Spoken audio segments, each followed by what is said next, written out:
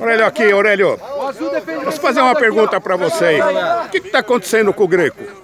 O Greco tá com problema. Qual? Ele falou o seguinte: o Palmeiras perde, ele não vem. O Palmeiras empata, ele não vem. Então, analisando, ele vai vir muito pouco esse ano. Não vai ver então? Muito pouco. Ah, raramente. O Palmeiras vai ganhar muito pouco, então ele vai vir. Então, tá- então tá. Eu tenho a informação certa. Então diz aí. Ele saiu numa, numa caminhada de protesto, saiu uma turma do sem teto da Paulista, saiu uma turma do sem terra da, da BR-116 e saiu uma turma sem título do Parque Antártico. E ele está junto. Ô, Greco. Estou, Ó, Tem mais aqui. estou de volta. Como é que é? Fiquei por um mês e pouco de férias. Estou retornando. Espero fazer aqueles gols que eu guardei. É isso daí.